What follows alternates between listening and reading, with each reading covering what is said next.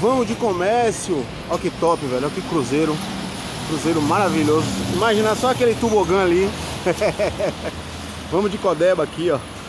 Comércio da Bahia, mas ainda ah, assim, ah. tô com saudade de Maracás, viu? Ê, frio gostoso.